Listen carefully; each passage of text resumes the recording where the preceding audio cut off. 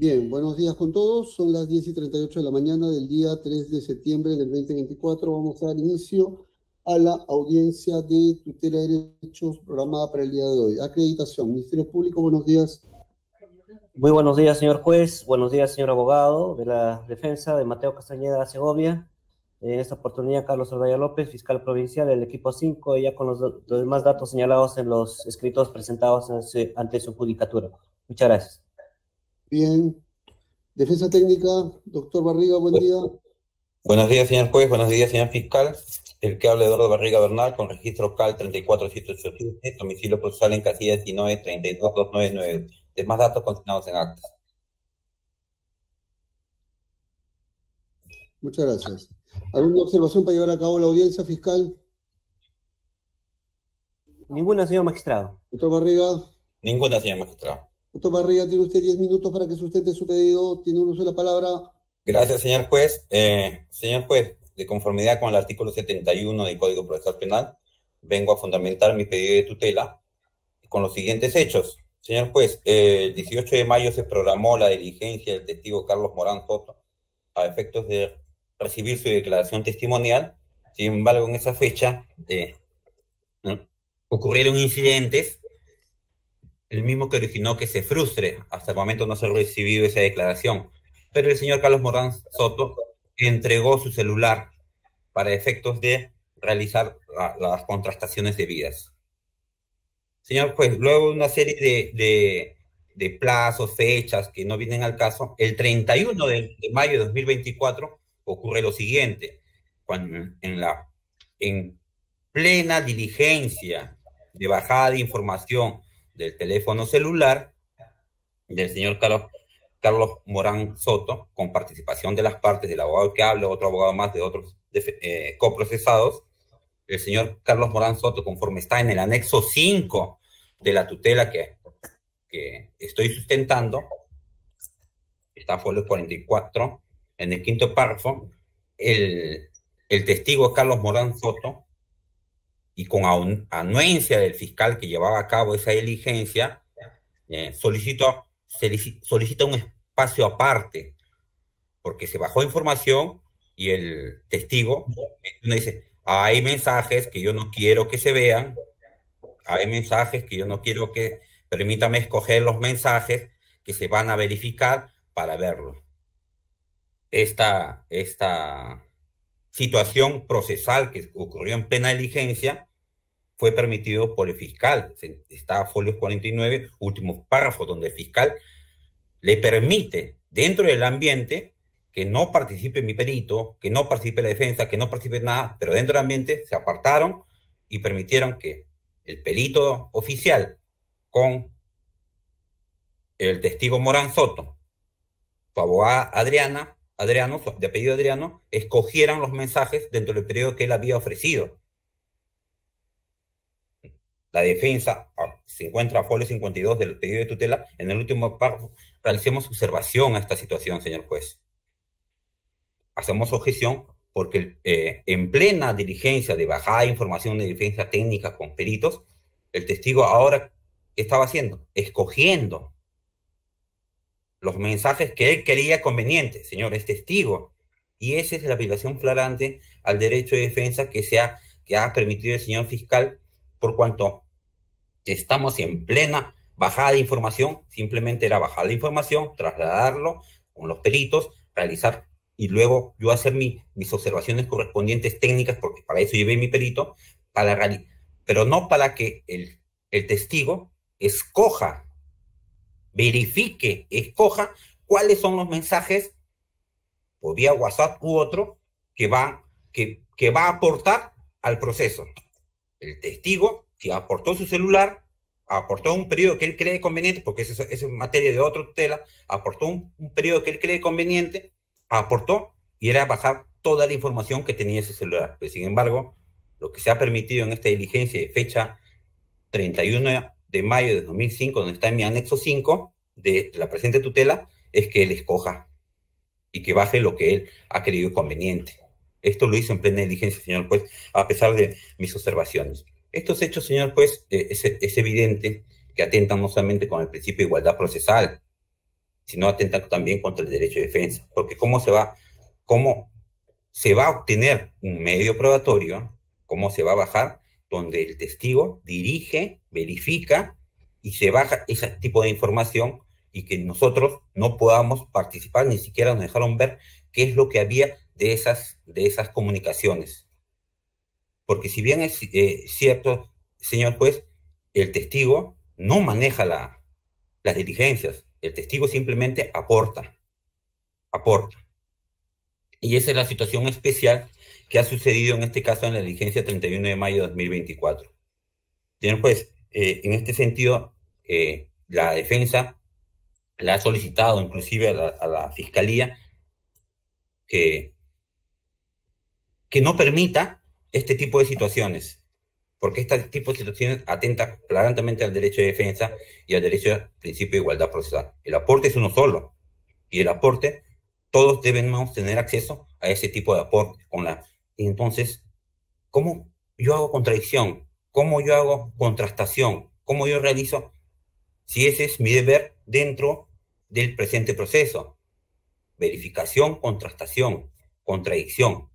Si desde ya se me está limitando e, este ejercicio legítimo de un derecho fundamental, señor juez.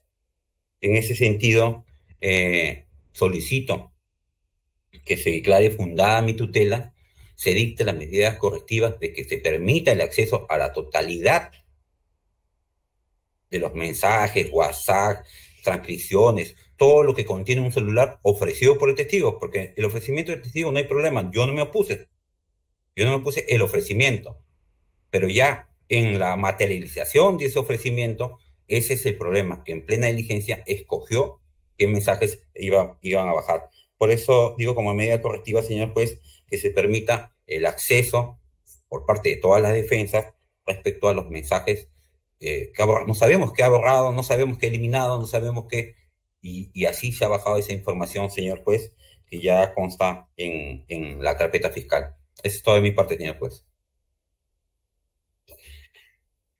Muchas gracias. Eh, Ministerio Público, adelante, tiene uso la palabra. Muchas gracias, señor magistrado. Eh, en primer lugar, este, quisiera remitirme a la, al escrito presentado por el abogado del investigado Mateo Casañeda, donde que en su...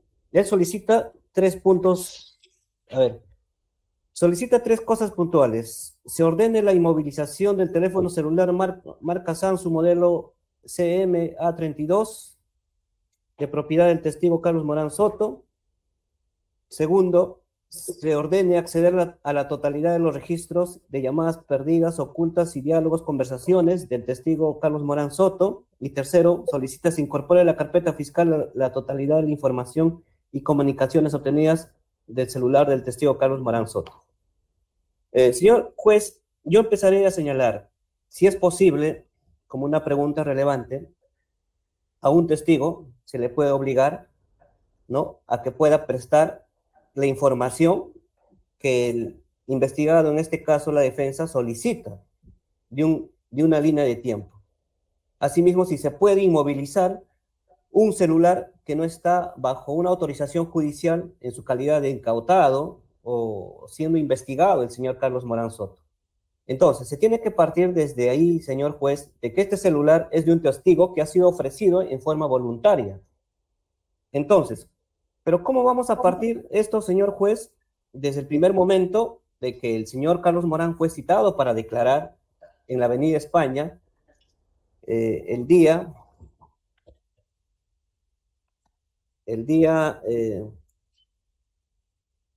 18 eh, de mayo de 2024? Diligencia que no se realizó por cuanto el abogado de la defensa de Mateo Castañeda quería interrogar al investigado es donde ahí, en esa diligencia, donde se han juntado esos documentos ofrecidos a, su judicatura, se señala que efectivamente el investigado, o sea, la defensa del investigado quería interrogar, porque él lo había ofrecido como un testigo para la presente investigación. Entonces, ya con la constancia, con, la, con el acto de consentimiento para la extracción y visualización de información dispositivo de fecha 18 de mayo de 2024, el señor Carlos Morán Soto autoriza, entrega en primer lugar, entrega su celular en forma voluntaria y autoriza para que se pueda extraer información de la línea de tiempo donde se estaba investigando, según en ese momento narró el señor Carlos Morán, desde el día 12 de marzo del 2024 hasta el día 30 de abril del año 2024, relacionado a los hechos en materia de las investigaciones que podían acreditar eh, las conversaciones que tenía con el señor Mateo Castañeda Segovia. Entonces, señor juez, en ningún momento que acaba de señalar el abogado menciona estos otros puntos. Si ordena la inmovilización del teléfono celular. Es decir, la pretensión del señor, de acuerdo a la tutela interpuesta, está solicitando la inmovilización del celular de un testigo. Asimismo, la extracción de informaciones, de llamadas perdidas, todo relacionado del investigado. Entonces, aquí, ya en sus fundamentos del, del investigado, del abogado del investigado, señala de que en la diligencia, ¿no? de acuerdo al anexo 8 que ha presentado en su tutela de derechos, sobre el acta de deslacrado y descripción de fecha 31 de mayo del 2024, donde se cuestiona, donde que el señor Morán habría escogido, ¿no? En presencia del Ministerio Público, habría escogido ciertos mensajes. Sí, efectivamente, no se puede dar como cierto esta versión, sino que el señor Carlos Morán en un inicio, señor magistrado, había, autorizado ciertas conversaciones con determinadas personas y efectivamente con el señor Mateo Castañeda a efectos de poder extraer esa información en forma voluntaria, pero más no había autorizado eh, la extracción de otras informaciones que supuestamente en ese momento señalaba de que se le podría afectar su derecho a la intimidad y al secreto de las comunicaciones, que efectivamente tiene todo asidero legal y constitucional. Señor magistrado, sin embargo, aquí en esta diligencia, como se deja en constancia en la página 612 del acta de extracción de fecha 31 de mayo, sí, efectivamente, se le da la oportunidad a efectos de que el, eh, el testigo, como había señalado, ¿no? con su abogada, en un, en un punto, a efectos de poder este, escoger los, los, las, informaciones que contenía en su equipo celular. Sin embargo, señor magistrado, ya eh, como se puede advertir, en el acta, en el acta de, en el acta de deslacrado, descripción, continuación, extracción, de fecha 20 de junio del año 2024, como esta diligencia se estaba suspendiendo, se estaba ya, este, incluso la defensa, estaba ya, eh, la defensa de, Mateo Castañeda estaba demostrando una conducta obstruccionista de no llevarse a cabo esta, esta, esta diligencia, se deja constancia de que el testigo Carlos Morán Soto solicita, a efectos de no dilatar estas diligencias, solicita la autorización de la extracción de, todo de toda su información, es decir, del 12 de marzo al 30 de abril, tanto comunicaciones de WhatsApp, tanto comunicaciones de llamadas telefónicas, tanto comunicaciones de todo lo que eh, señalaba, eh, solicitaba la parte de la defensa. Entonces, se llegó a extraer toda esa información, ¿no? Entonces, señor magistrado, eh, de acuerdo a lo que señala la, la defensa del investigado, dicen de que nosotros habríamos, este, no habríamos extraído la información correspondiente. Sin embargo, eso no es cierto. Asimismo, de acuerdo a las actas que se han juntado a su, a su despacho, con fecha,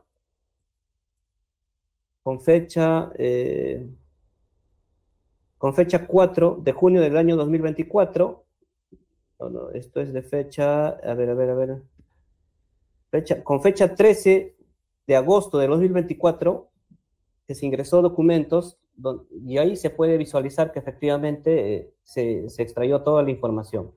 Entonces, señor magistrado, para concluir mi participación, eh, el abogado no menciona respecto a la inmovilización del celular que está pretendiendo en esta tutela, ¿no? Y tampoco eh, no señala respecto a si se habría extraído o no la información, lo que él peticionaba de la línea de tiempo.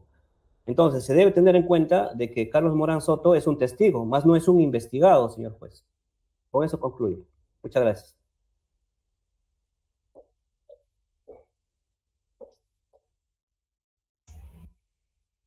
solamente para que me clarifique, eh, doctor Barriga, usted está pidiendo tres, tres cosas, ¿no? La inmovilización, el acceso a la totalidad de registros y la incorporación de la totalidad de la información, ¿es correcto?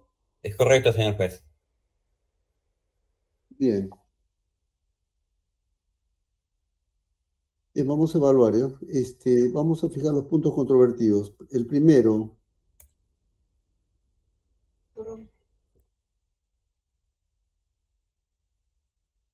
El primer punto controvertido consiste en, determinar este, qué fue materia de la programa, qué, diligencia se ha programado. Solamente se autorizó, solamente se ordenó traiga la información que el imputado autorizaba o toda la información del, de, digamos, contenida en el teléfono. ¿ya? Eso quisiera que se me clarifique. ¿ya? Cuando la fiscalía ordena esta diligencia eh, en base a la entrega del celular y dispone la entrega del celular, es, ¿qué es lo que ordena? Solamente la extracción de un periodo, una parte de la información o de toda la información contenida en el teléfono. Y si es así, ¿en qué parte de la, en qué disposición está ello? O si no está. Lo segundo es el tema referido así para la inmovilización de si, estas, si estos pedidos de inmovilización, acceso a llamadas e incorporación ¿Tiene otra vía procesal, eh, tiene su propia vía procesal o se puede ventilar en una tutela? ¿Ya? Todo el tema referido a la inmovilización, al acceso a la totalidad de llamadas que surge lo anterior y a la incorporación de la totalidad de la información, todo, todo eso tiene su propia vía procedimental o sus propias vías específicas o se puede ventilar o, exigir a, partir de una tutela de derecho. Porque lo que la, la, Fiscalía un poco que ha tratado de decir entre líneas es que no se ha incautado su teléfono, sino él lo ha entregado voluntariamente. ¿O es que acaso tiene que recurrir a eso? ¿Ya?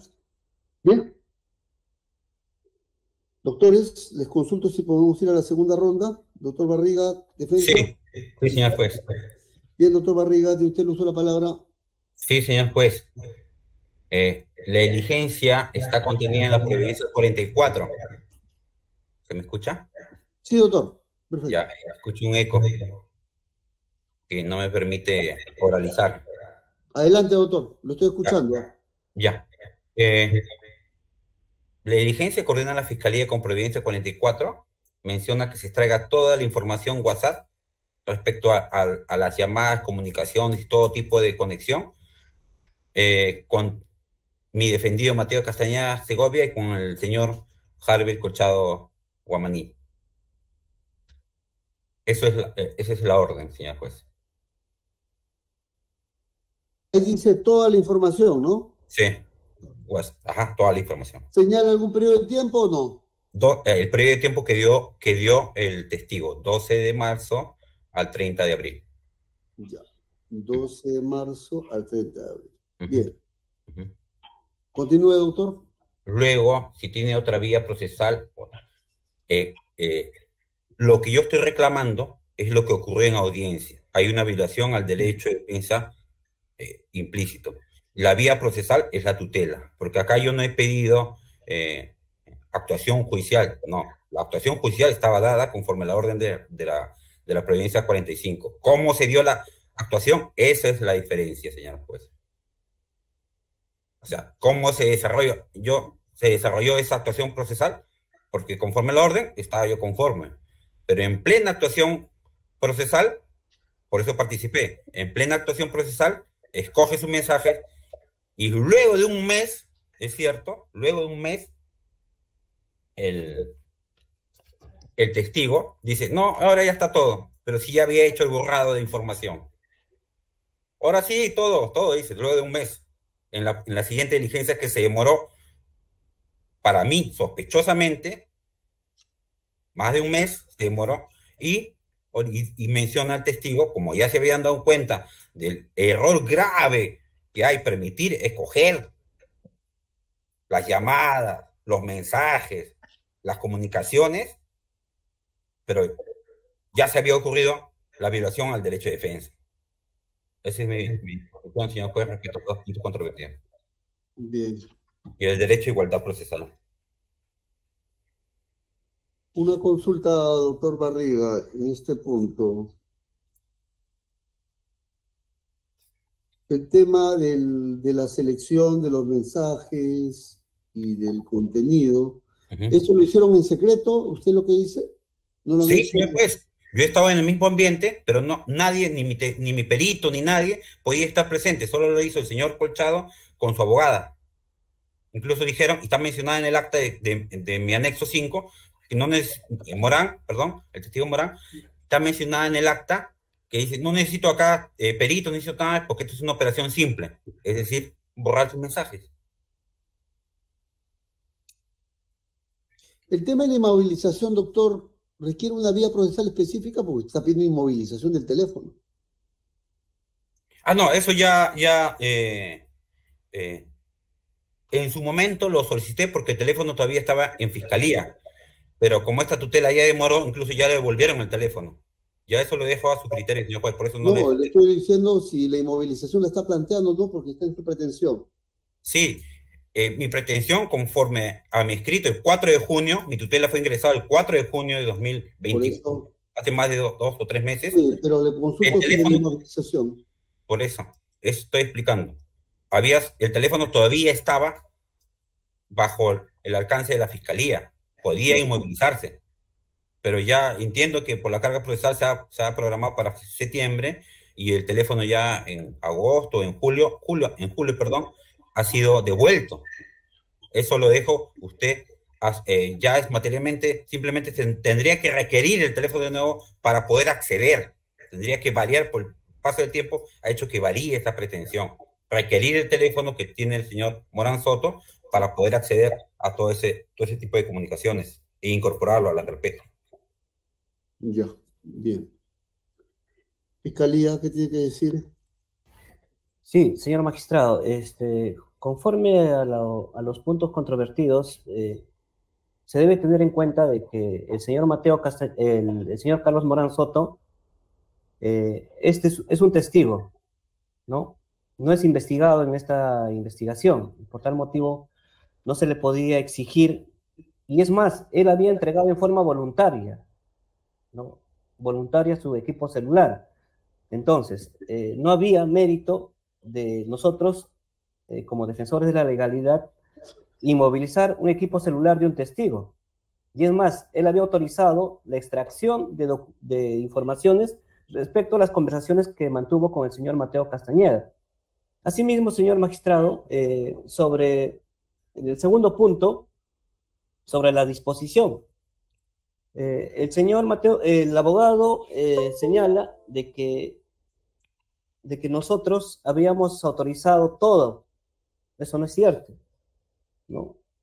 La disposición fiscal número 10 de fecha 20 de mayo, donde que se dispone esta diligencia que ha sido notificada a todas las partes, en su considerando sexto señala que el objeto será el, el que sigue extracción, visualización y aseguramiento de información contenida en el celular marca Samsung del testigo proporcionado por el testigo Carlos Morán Soto respecto a los registros de comunicación y mensajes de aplicativo WhatsApp y Signal que haya sostenido dicho testigo con dos personas desde el periodo del 12 de marzo de 2024 hasta el 30 de abril del 2024. Eso se, eso se hizo en base a su solicitud de la entrega voluntaria en presencia de todos los investigados el día 18 de mayo.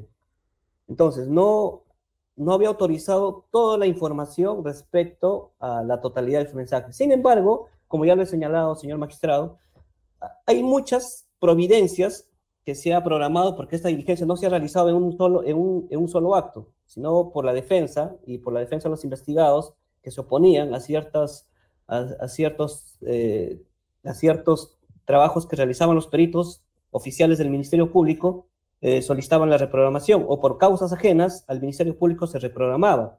Entonces, finalmente, se extrajo toda la información, se extrajo toda la información, se extrajo toda la información del equipo eh, celular, ¿no? Así como del software, eh, asimismo de todo lo que había señalado ya eh, con fecha 20 de junio de 2024, dando la autorización el señor Carlos Morán Soto, ¿no? Ahora, eh, sobre el tercer punto, consideramos de que aquí no se ha vulnerado ningún derecho de la defensa, ¿no? Eh, el, abogado de la defensa está planteando mal una tutela que también va a tener a colación la otra tutela que está programada a las dos y media, que son casi similares. Entonces, señor magistrado, aquí justamente la diligencia que se ha realizado en un solo ambiente. No ha habido un momento donde que, donde que se hubiera modificado, se hubiera eliminado por cuanto era la presencia. Solamente que en ese momento, lo que señala el, investigado, el abogado del investigado, se estaban identificando, ¿no? De acuerdo a lo que había pedido una solicitud la abogada, efectos de que pueda haber eh, el equipo celular con, con el investigado. Pero eso fue en presencia de todos, no, no fue en un ambiente separado, no fue un ambiente de donde que se pudo haber eliminado, ¿no? Eso, eso está muy lejos, lejos de lo que señala. Y es más, señor magistrado, el día que se extrae toda la información con el acta de deslacrado de descripción de fecha 20 de junio, ya donde que el, eh, el, testigo Carlos Morán Soto autoriza toda la extracción de su información, el, el, abogado de Mateo Castañeda, el doctor Barriga, no deja ninguna constancia. Entonces, aquí aquí prácticamente no se ha cometido ninguna irregularidad y tampoco ningún tipo de, eh, de vicio que pueda este, dificultar el desarrollo, del, desarrollo de la investigación preliminar. ¿no? Entonces consideramos de que la tutela está mal planteada en el sentido de que estos, en qué manera se estaría vulnerando el derecho a la defensa, y más aún teniendo en cuenta de que es un testigo no es un investigado. Nosotros no tenemos facultades para inmovilizar, para disponer incluso, ¿y cuál sería la relevancia también? Eso en su escrito no lo ha demostrado. O sea, ¿cuál sería la relevancia nosotros para inmovilizar eh, ese celular si el testigo lo está entregando en forma voluntaria? ¿No? Eso sería, señor magistrado. Bien, solamente, doctor, un punto fiscal para que me esclarezca. La defensa ha dicho que usted se ha ido a otro ambiente y ahí en secreto ha comenzado a seleccionar los mensajes. ¿Eso es así o no es así? ¿Qué dice el acta? Eso es falso, doctor. Eso es falso. A ver, le voy a dar lectura del acta. Disculpe, señor juez, no he dicho otro ambiente. Doctor Barriga, luego le voy a ir con usted, no se preocupe. Voy a habilitar una parte para que usted, ¿ya? Solamente quiero que me precise ese dato. ¿Qué parte del, del, del acta? ¿Qué fecha es? el, acta justamente lo está presentando el mismo abogado de Mateo Castañeda en el anexo 5. Si vamos al acta de fecha 31 de, a la fecha 31 de mayo, en la página 6, donde señala, en este acto, la defensa técnica del testigo solicita un espacio para que su patrocinado pueda seleccionar la información objeto de la pericia en la fecha determinada y sobre las personas determinadas, dejando constancia de que esta es la tercera vez que está solicitando, sin embargo, el perito de parte sigue, sigue al alcance de toda la información que proyecta la computadora que se está utilizando para la extracción de información del teléfono celular, actuación que está, esta defensa considera obstructiva de la labor de su patrocinado. Y es más, aquí justamente se deja constancia de que había un perito de parte ofrecido por Mateo, por Mateo Castañeda, por el investigado, que estaba eh, viendo la visualización de la pantalla que se estaba extrayendo la información. O sea, no había eh, más aún eh, manera de, poder eliminar mensajes. Y es más, el ambiente donde se estaba realizando es un ambiente muy pequeño. No existe otro ambiente más donde que se pudo haber ocultado, donde que se pudo haber escondido para poder realizar maniobras que no vienen a, a un normal desarrollo de la investigación, señor magistrado. Bien. Muchas gracias. Hemos terminado. Doctor Barriga, ¿va a añadir algo más? Como se lo indiqué, algo breve, nuevo. Sí, señor juez. Dígame. Lo que eh, solicito, señor juez, es que usted revise el quinto par, las fojas 48 del acta de 31 de mayo de 2024, donde menciona, dentro del ambiente, un espacio aparte. Solicito un espacio aparte Luego a folio 49 menciona, el fiscal le otorga, en el último párrafo, le otorga el espacio aparte sin presencia de nadie, sin presencia de fiscal. A folio 52, señor juez. A ver, vamos por partes, vamos por partes para anotarlo, porque no encuentro lo que usted me dice. Ah, lo, ¿Me da permiso para exhibirlo, señor juez? No, me da la página, autor, para seguirlo. O si quiere lo exhibe, no tengo problema. El tema es, por favor, me da la página del acta para... Porque ah, del acta, ya. Sí. A folios 48, señor juez. ¿En el acta qué página es? En el acta es, es página 6. 6. ¿Qué párrafo? Quinto párrafo. 1, 2, 3, 4, 5. En este acto, ya. La defensa técnica necesita un espacio. Ahí dice un espacio, nada más. Sí, dentro del ambiente, del espacio. La defensa técnica del testigo. ¿Dónde dice dentro del ambiente? No, de ahí va, va, va a ver el, eh, en el proseguir de mi alocución, señor juez. Incluso vota a mi perito y lo vota. No, yo quiero mi espacio. Dice, ¿Dónde dice que lo ha sacado su perito? vamos, a, vamos a leer. En este acto de defensa técnica, el testigo solicita un espacio para que su patrocinado pueda seleccionar la información objeto de la pericia. Seleccionar las informaciones. En la fecha determinada y sobre las personas determinadas. Dejando constancia de que esta es la tercera vez que está solicitando. Sin embargo, el perito de parte sigue al alcance de toda información que proyecta la computadora que se está utilizando para extracción de información del teléfono celular, actuación que esta defensa considera obstructiva de la labor de su patrocinado, su testigo, Morán Soto, que en calidad de testigo se ha ofrecido proporcionar la información de su teléfono celular dentro de los límites establecidos por la Providencia. Además, agrega que la selección de información no implica ningún trabajo técnico pericial en el que deba participar el perito de parte, quien, de acuerdo a ley, únicamente está autorizado a dejar constancia sobre trabajo pericial. Ahí cuando solicita el espacio, señor juez. A folio 7 del acta, en el último párrafo, dice, siendo las 20 horas, el representante del Ministerio Público otorga un espacio dentro del mismo ambiente donde se realiza la presente diligencia de los peritos oficiales, testigos y su defensa técnica, y la representante del Ministerio Público. Otorga un, espacio a fin de que verifiquen el marco temporal proporcionado y que es objeto de la presente pericia, situándose el perito de parte en la parte posterior del perito oficial Cristian J. Guerrero Cabrera, asimismo los peritos oficiales, a fin de facilitar la búsqueda de información requerida, enciende nuevamente el equipo celular y entregan al testigo, o sea, a Morán Soto, dicho dispositivo electrónico para que, para que brinde los nombres de contactos registrados, procediendo a brindar al testigo los nombres de los contactos. Le otorgan, le entregan el celular. Y yo hago mi observación, señor juez, a folios, a folios 52 del, del, del PDF, perdón, a folios Ahí le voy a dar el folio del acta. A folios 10. Último párrafo. En este acto, de defensa señala que considera que se ha afectado el derecho de defensa y su concesión de derecho a aprobar, lo que origina realizar las articulaciones correspondientes para tener una investigación conforme al artículo 1.3 del título preliminar, que es, que es, el principio de igualdad de armas. Yo le hago la observación, se está afectando, no puede escoger, mire lo que está pasando. Eso es lo que dice el acta. Luego, señor juez, Luego, señor juez, el señor eh, fiscal eh, tiene una afirmación exacta que no puede, más allá de lo que el testigo da, no puede hacer más. Se equivoca, señor juez, porque las herramientas procesales permiten incautar, inmovilizar documentos de testigos que interesan al caso concreto. Si la norma le da, y yo siempre le he pedido, señor juez, usted incaute, usted, no incaute, inmovilice, inmovilice esta situación. Ahora el señor fiscal responde y dice, sí, pero después de un mes ha venido y ha dicho que todo se hacer. Señor juez, esto no es lo cierto. Cuando ya sucedió, escoja la información, cuando ya sucedió este hecho, yo he hecho mi observación, luego de un mes viene el señor Morán, se da cuenta de lo que había sucedido, yo dejé mi constancia correspondiente, y dice, no, que se coja todo. ¿Cuál todo? Si yo había escogido, ya había escogido los mensajes. Ya había. Entonces, señor juez, es evidente una, una violación al derecho de defensa y el principio de igualdad procesal. Porque la diligencia está objetada en su pertinencia, conducencia y utilidad. Nadie ha objetado eso. La diligencia es cómo se realiza esta diligencia. Por eso es el lado de proponer una tutela. No hay otra vía.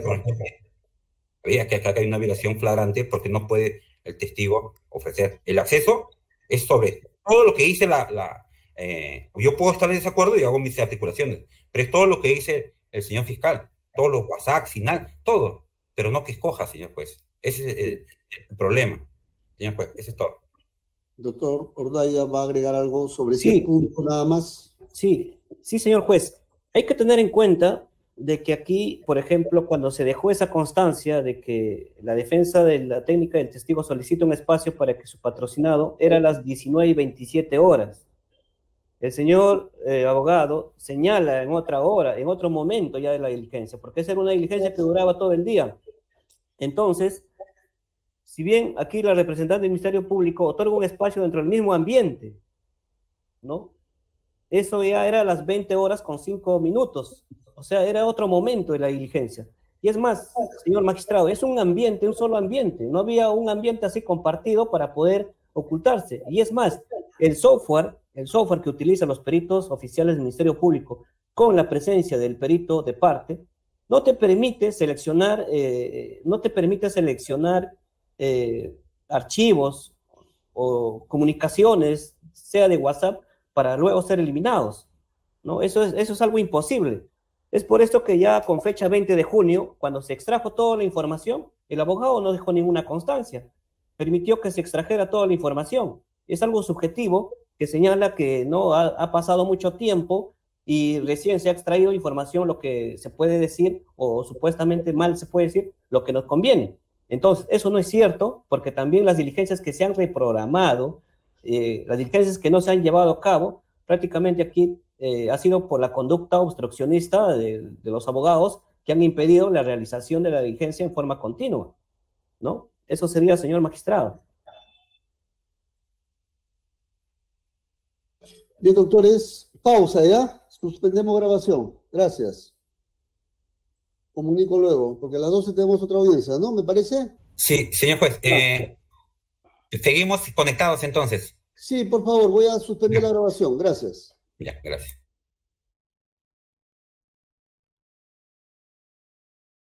Suspendemos grabación, especialista. Especialista, suspendemos grabación. Especialista de audiencia. Gracias. Bien. Buenas tardes.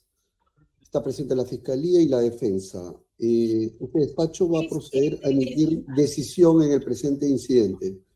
Resolución judicial número 6, Lima, 3 de septiembre del año 2024.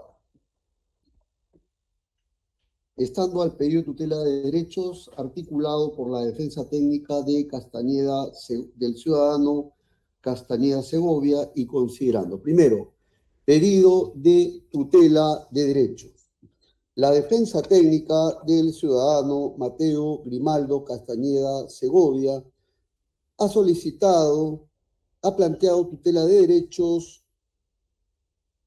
solicitando la inmovilización del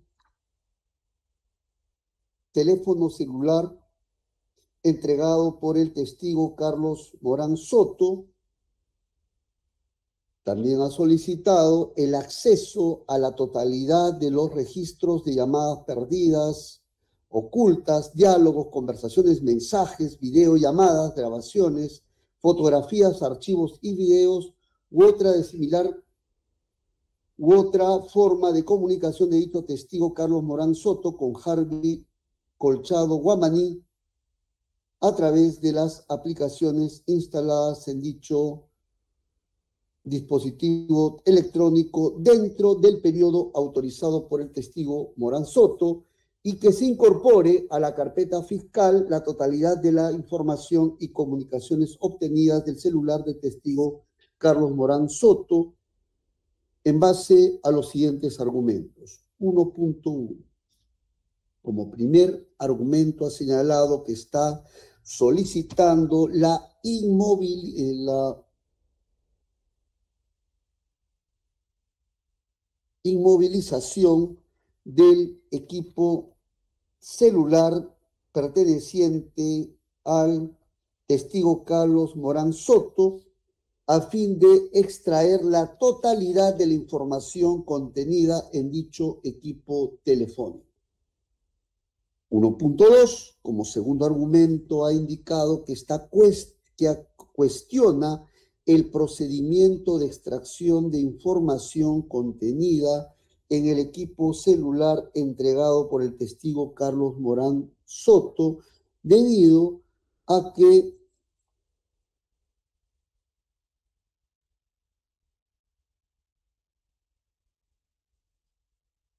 dicho eh, en el procedimiento de extracción de información se habría afectado su derecho de defensa en razón a que se le habría permitido al testigo Carlos Morán Soto eh, seleccionar la información que va a ser motivo de extracción y además que eso se realice en un ambiente aparte.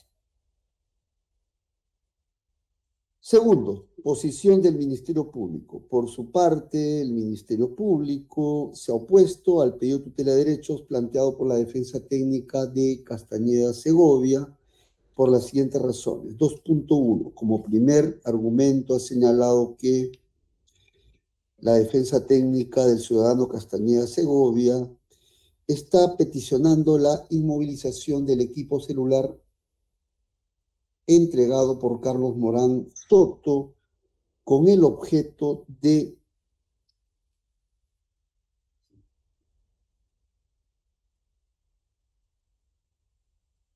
extraer toda la información, la cual no puede aceptarse debido a que dicho testigo habría autorizado solamente la extracción de información sobre comunicaciones que habría sostenido con la persona de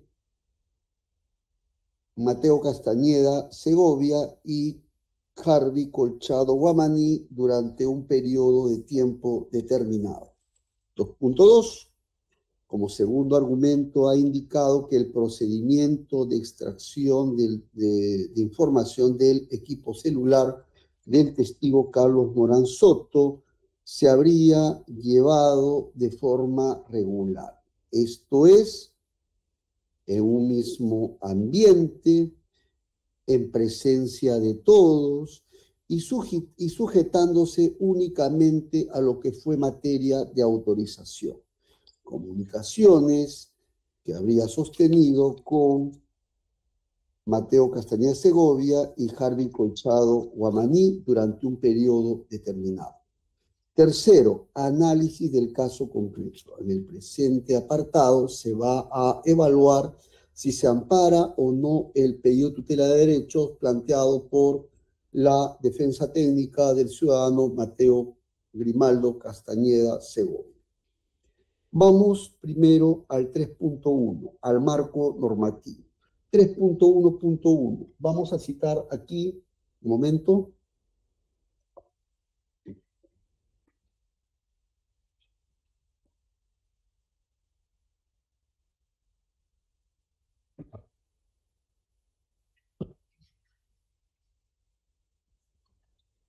Bien, aquí vamos a citar el artículo 71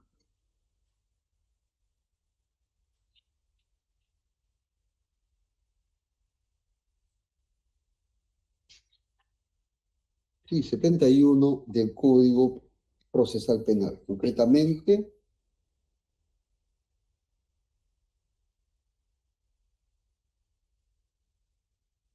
los numerales 1,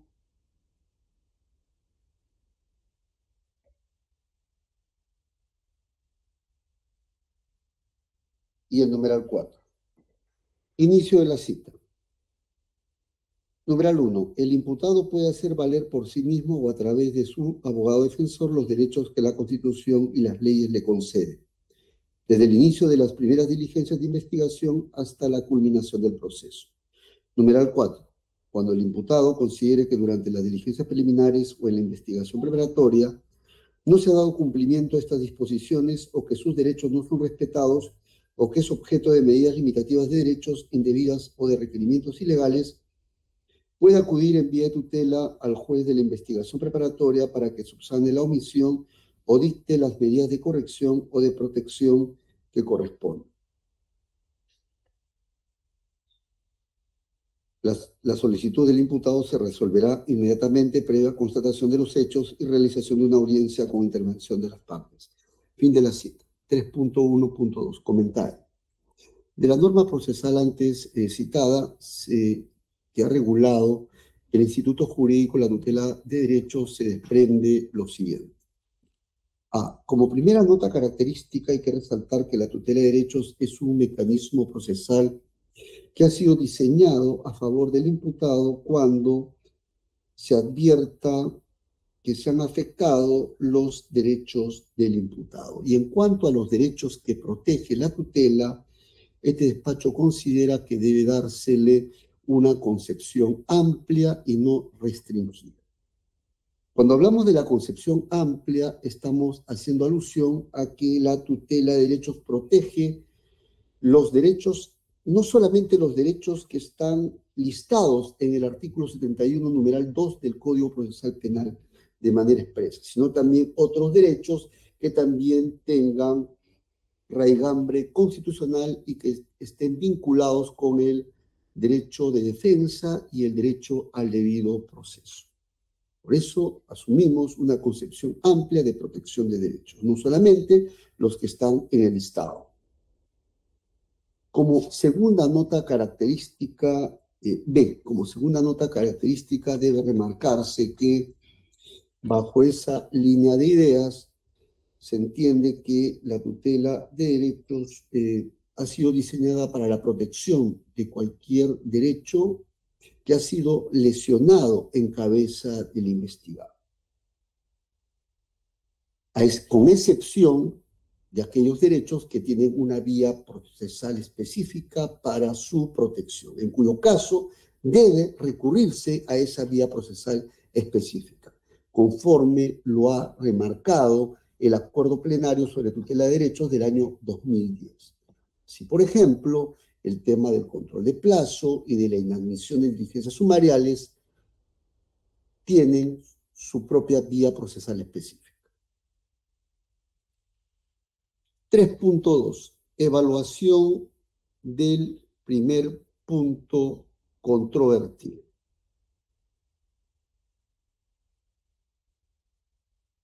Sobre la inmovilización del celular de Morán Soto para la extracción de la totalidad de información. Con relación al primer punto controvertido referido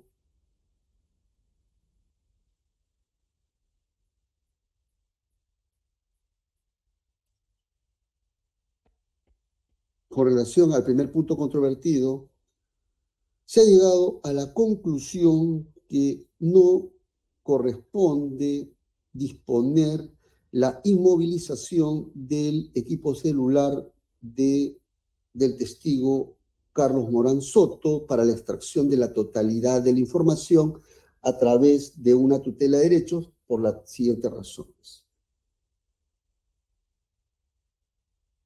3.2.1.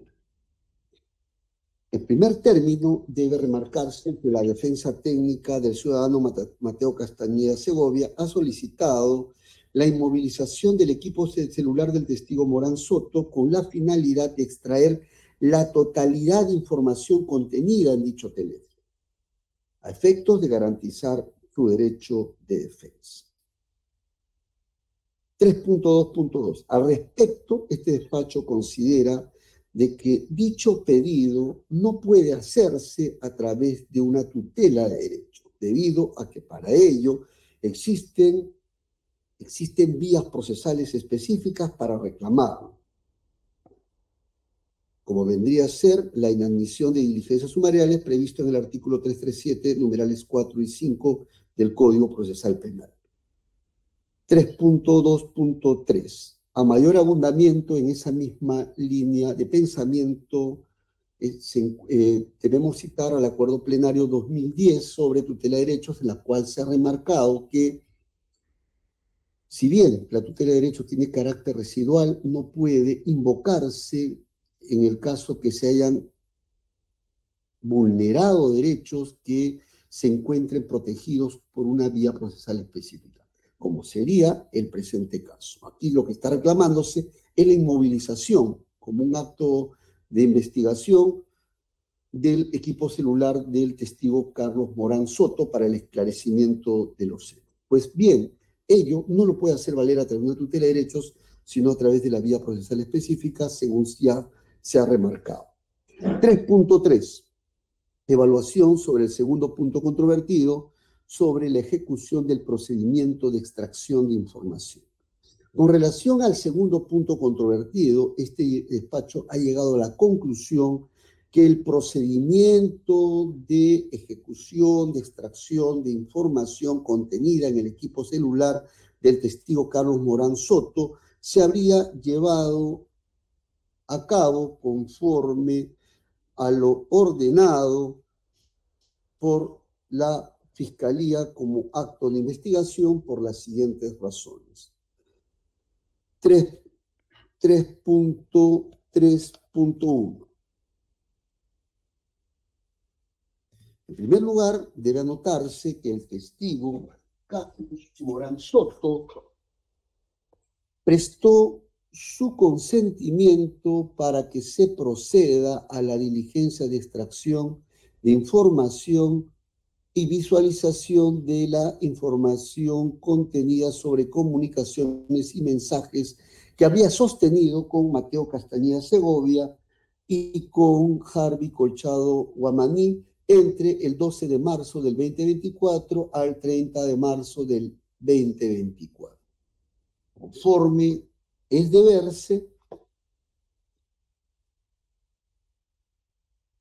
el acta el documento Acta de Consentimiento para la Extracción y Visualización de Información de Dispositivo Móvil, Equipo, equipo Celular, que obra a folios 80 del presente incidente. 3.3.2.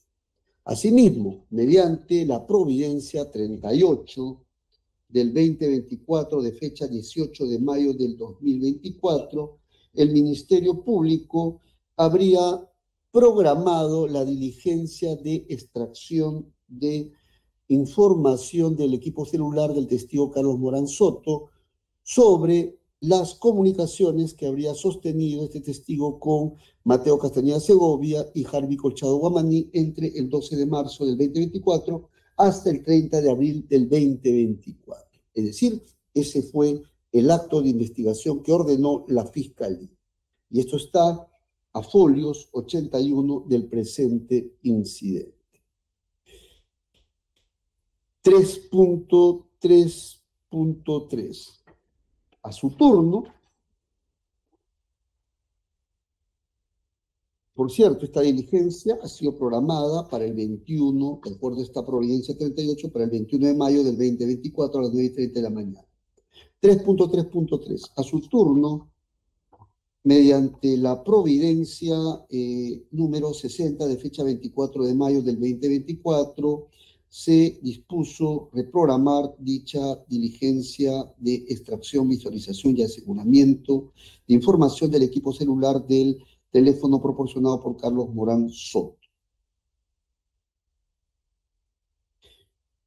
con la asistencia pues de un eh, profesional en informática. Y esto ha sido nombrado en el acta deslacrado en la primera página. Esto está a folios 43, a través del cual se reprograma para el 31 de mayo del 2024 la realización de la anotada diligencia. 3.3.4.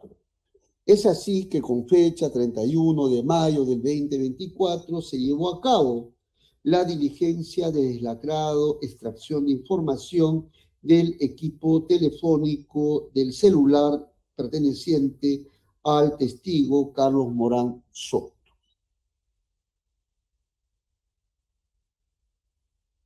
Conforme consta en el acta deslacrado que corre de folios 43 hasta el folio 54. Y en la cual se realizó pues la extracción de información del equipo eh, celular de Carlos Morán Soto, seleccionándose únicamente las comunicaciones que habría sostenido eh, Carlos Morán Soto con Harvey Colchado Bamaní y con eh, Mateo Castañeda Segovia. Asimismo, por el periodo autorizado.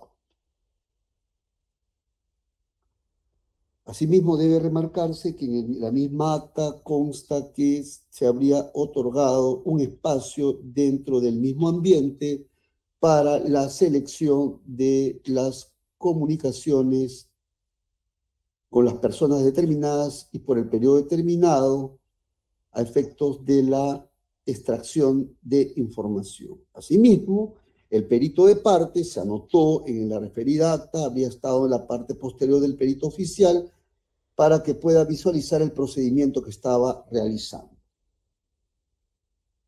E incluso el perito de parte habría tenido a su alcance toda la información que se habría ejecutado. Voy a citar los pasajes que estoy mencionando y que obran en este acto.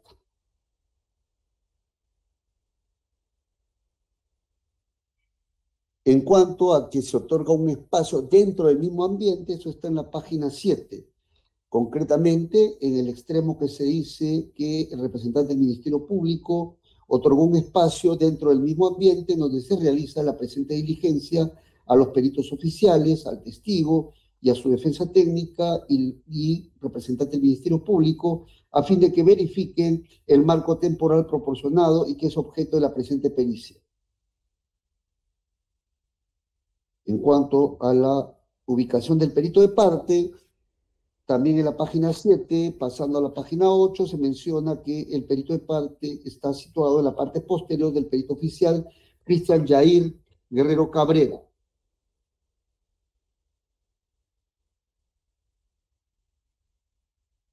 Más adelante, en la página 8, también se señala que el perito de parte se encuentra detrás del perito oficial que está seleccionando la información y desde su, posición se puede visualizar el trabajo que está realizando el perito oficial.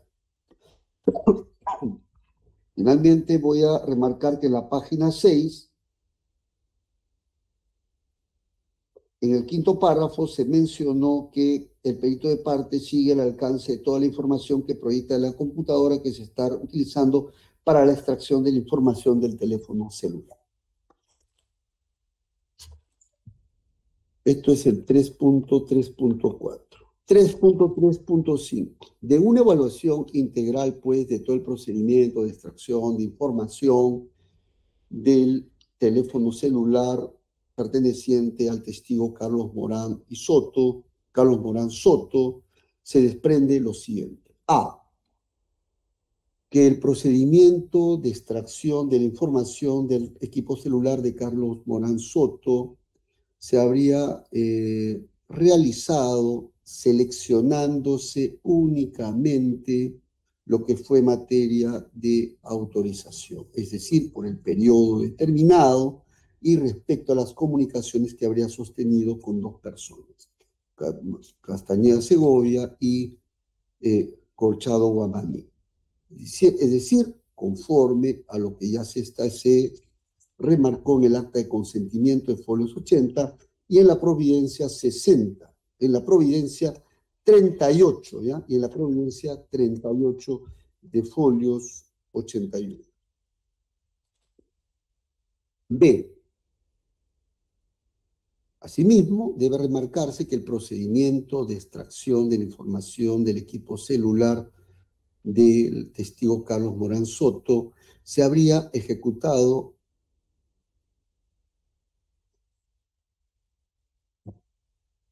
dentro del mismo ambiente donde estaban los sujetos procesales.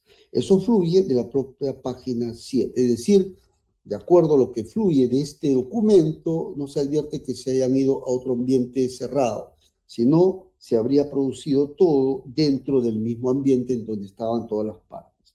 Concretamente, esto fluye del, del siguiente, de la siguiente muletía, donde se dice que se otorgó un espacio dentro del mismo ambiente donde se realiza la presente diligencia, estando presentes los que participaron en la mencionada diligencia. Y C,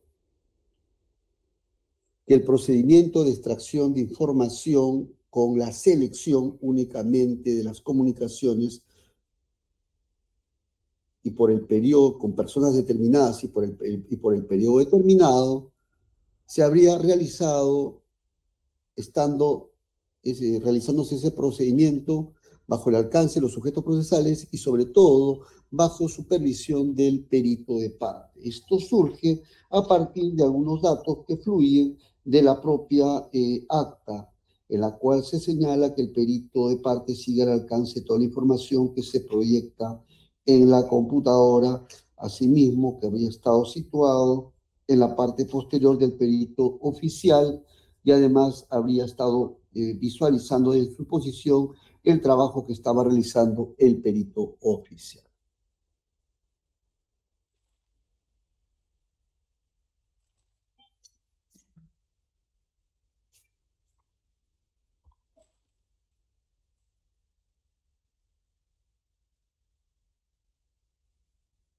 Por estas consideraciones, el primer juzgado de investigación preparatoria resuelve lo siguiente. Primero, declarar infundado el pedido de tutela de derechos planteado por la defensa técnica de Mateo Castañeda Segovia respecto a sus pedidos sobre A, inmovilización del teléfono celular de, del del, del teléfono celular entregado por el testigo Carlos Morán Soto, B, sobre acceso a la totalidad de la información contenida en el equipo telefónico y C, incorporación a la carpeta fiscal de la totalidad de la información y comunicaciones obtenida del celular del testigo Carlos Morán Soto.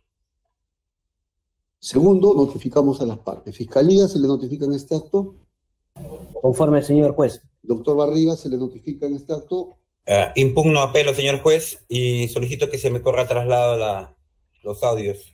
Sí, de inmediato le voy a pedir que se le corra traslado el audio, doctor. Eh, se le concede caso de ley para que lo fundamente. Bien, cerramos la audiencia. Buenas tardes con todos y vamos a la otra audiencia. ¿eh? Gracias. Creo que es el mismo link, señor juez. No, es otro link, doctor. Es otro link, por favor, para que lo verifique. Gracias. Cerramos grabación. Muchas gracias, doctor. Gracias.